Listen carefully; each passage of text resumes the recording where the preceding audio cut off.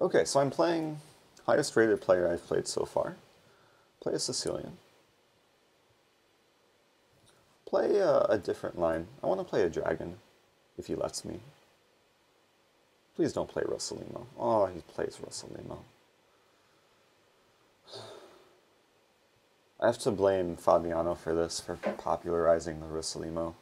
I think I'll play e6 which is not a move that was played at all in the World Championship match.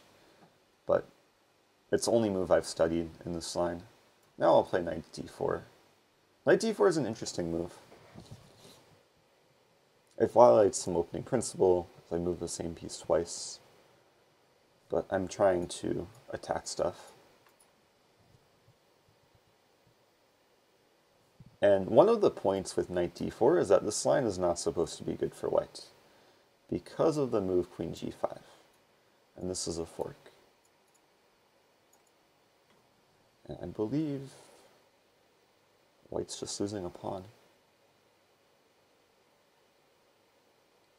I've had this before, but it's been a while.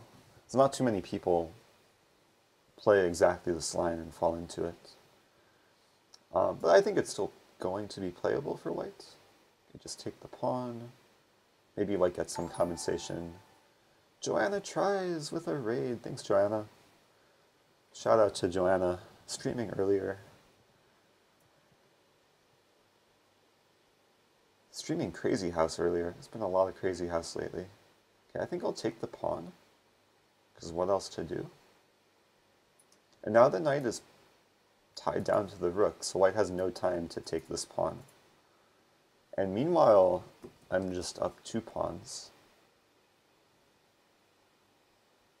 This looks like a great position. the bishop is on d3, which blocks a pawn, which blocks a bishop. Okay, so c3... The first thing that comes to mind is bishop c5, because f2 looks really juicy. If bishop c5 takes, takes, the knight can't take because it's still tied down. Meanwhile, f2 could be a problem. And if bishop c5, rook takes here, I take here, and I'm threatening f2 again. Let's do it.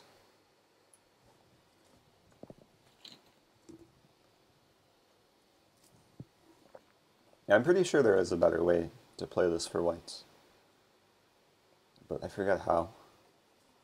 Puerto Rico don't recall ever seeing a viewer from Puerto Rico. Welcome to the stream. Yeah, it's very possible knight g3 was better at some point. Okay, b4, interesting move. Taking the bishop. I mean, I want to take here, but it loses a piece, so let's move back. White's going to play c4. Hmm. Hmm, have to do it.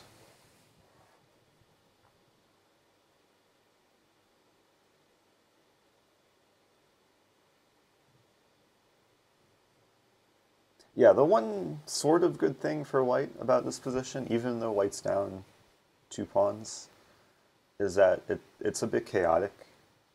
And there are ways for white to come back and get compensation, like even here, I have two things to worry about, my g7 pawn and the threat of c5 winning d4. So do I defend? I mean, queen e5 defends both things, but it looks way too greedy. Play d6. Give away g7. Kind of like the move knight e7. Knight e7, if rook takes g7, I have knight like e6, or knight to g6 trapping the rook. And if knight e7, c5, bishop here, the knight still can't take because the rook is hanging. So let's do it. And I'm developing. Okay, so c5, have to do this. And there might be some goal, like very soon, of playing knight g6 to h4 to f3. If this were Crazy House, I would love to just drop a knight on f3 right away, but Okay, have to be patient, have to follow the rules. So the pawn's attacked twice. I could play e5. Blocks the bishop though. So what about this? Takes, and then knight f4. Attacking and attacking. Let's do it. As I don't see how white's going to cope with knight f4. It looks looks difficult because the bishop's undefended and the knight is tied down. So I think this is a monster threat. Not to mention I still have ideas of this knight h4 maneuver, also knight e5. I can't draw arrows. I want to draw arrows because this is so thumbnail worthy. Like there's so many knight moves to attack like squares and pieces and deflect white's pieces from defending other white pieces. Yeah, this is some pretty thumbnail worthy. One more arrow. Bishop takes d4 is probably a blunder. Okay, so queen c2 actually looks reasonable. Wants to queenside castle. But then I went f2. Just keep winning more pawns.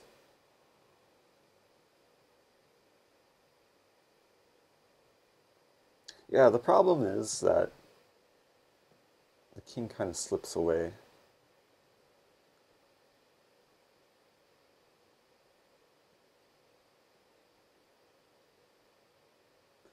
Looking at 95, queenside castling, and then queen h3, but then there's rook g3. Well, maybe now it's time for e5? Could also play knight f4, queenside castling, and take on e2. And then take on f2. And I keep initiative because I attack e2. I think I'll do that. It's greedy, but it wins a pawn.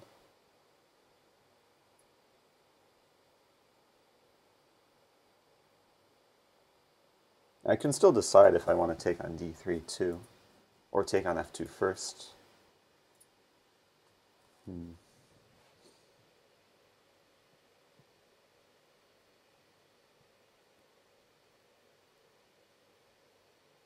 This feels very greedy. But the bishop's attacked. Bishop e5 coming. Let's do it.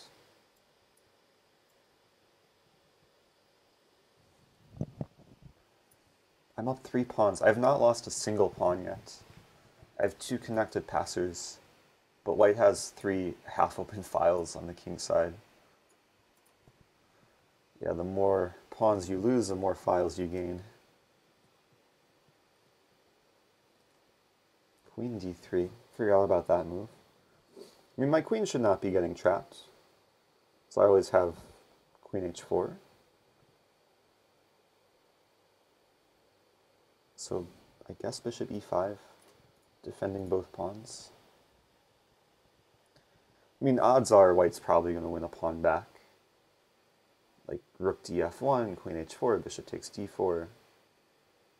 How bad is that? That could be pretty bad, actually. I could play queen h2, though. And the queen's tied down to defending the bishop. Queen h2?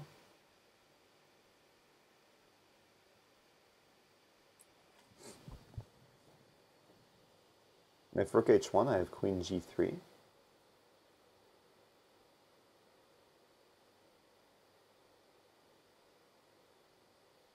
I mean, the problem for me currently, I have none of these pieces in the game. And white has basically all of the pieces in the game. So I would like to play b6 at some point, get some initiative, develop my bishop, harass the white king, it could take some time. Okay, here I would like to queen trade. This is the only move. Rook f3 might be coming. And queen g6.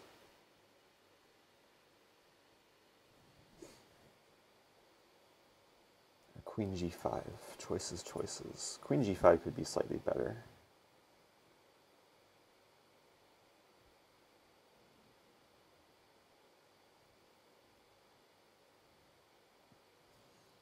Go play queen g5 with more options. Defends the bishop. So after bishop takes d4, I might even take, like I might go for b6 right away.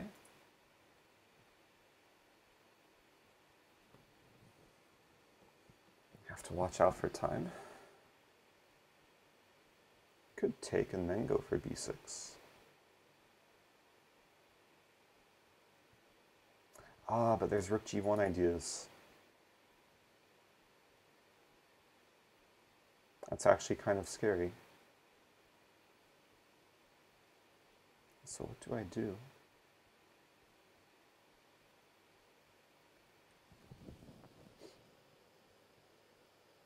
I might be being punished for my greed. Takes, takes.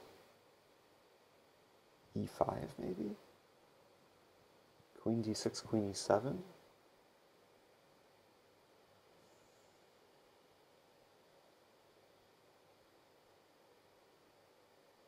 Maybe go for f6. Takes, takes f6. Doesn't look right though. This looks very shaky.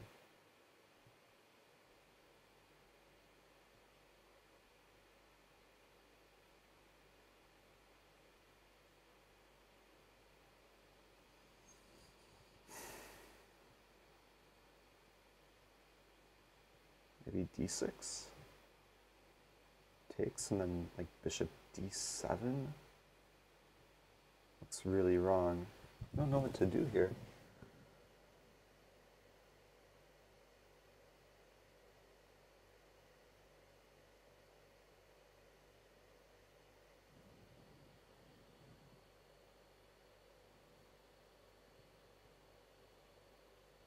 There's some tactic take and play queen g2, being extra greedy.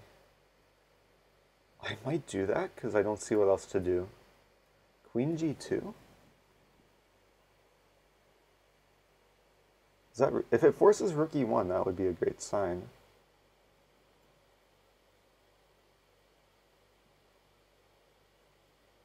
Just looks so wrong. I mean, I'm so low on time though, I have to do something. I have nothing developed except my queen. And it's on g2. It's about to get trapped somehow, probably. But I'm up three pawns.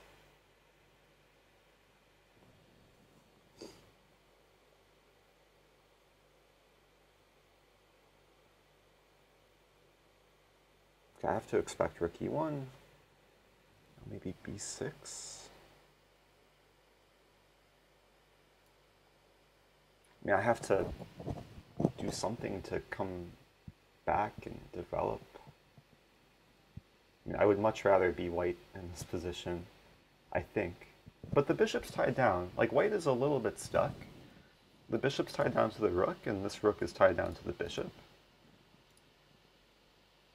And for the time being, things are defended. So rook f2 is logical. I could take first. Maybe I'll take first. I'd be happy with a queen trade.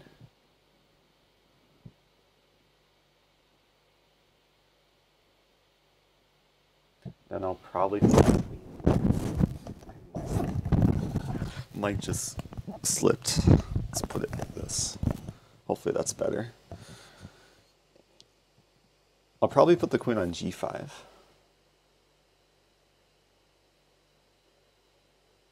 Queen g5. Or queen g3 maybe. Queen g3. Pinning the rook to the rook. I just have to move quickly. I want to play queen a3.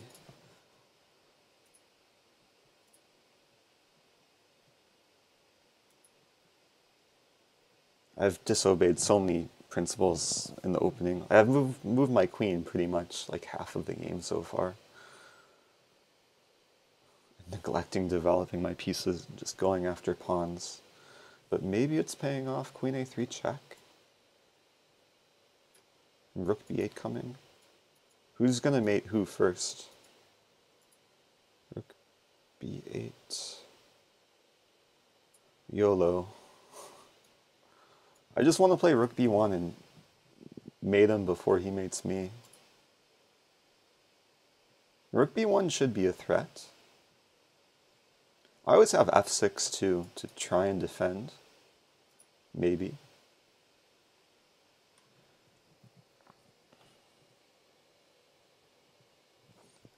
Bishop c4, wow. So rook b1. Gotta move much quicker. Rook b1, we trade. I have bishop a6, and we trade more. I mean, I'd be happy with trading.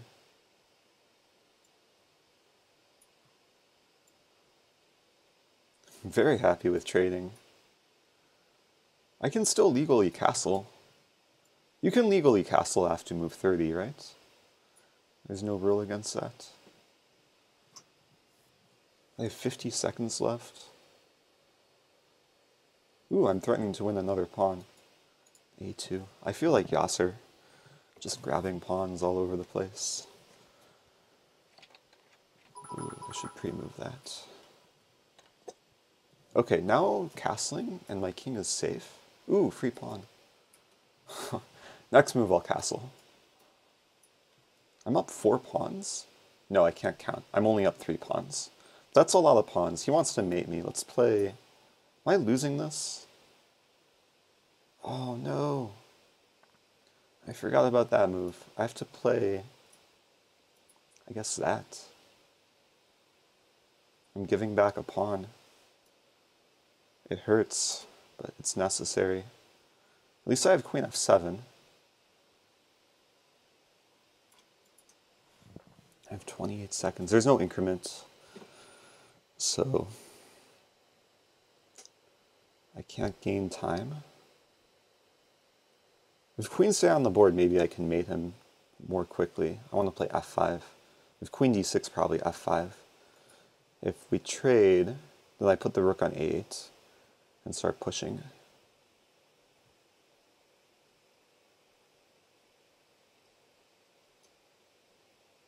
Okay, so we trade. Yeah, rooks belong behind pass pawns. He's going to play rook a6 and just blockade. But this is where the two connected passers come into play. So I'll push these pawns. Uh, let's start with that. Maybe I'll give up the a pawn. Hmm. What's going on here? Did I push too far? Or did he... The rook can't come back. But it, maybe it's a race? But I'm winning the race. And it's a sub from the ultimate edge. Thanks for the sub. Yeah, 19 seconds should be enough to win this. It's such a weird game. Yeah, I think rook takes d7 was a blunder. He should have played like rook a1. Rook a1, maybe even white's better because he can win the h-pawn.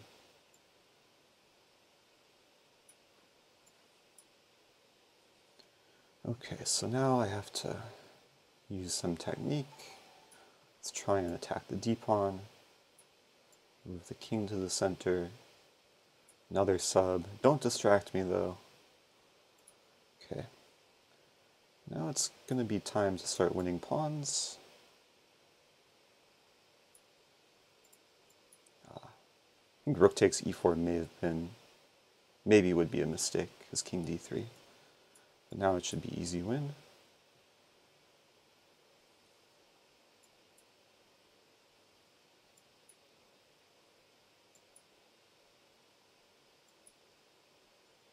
It's probably possible to win this without wasting another second. Yeah, the goal is not to get below 11 seconds. Oh, that would have been stalemate if I had played king f4 and he played king h3. Okay, let's not stalemate him.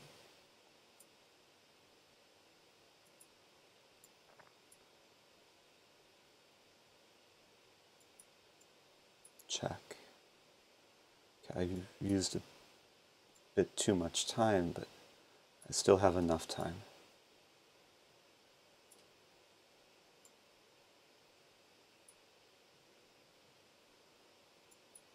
Okay.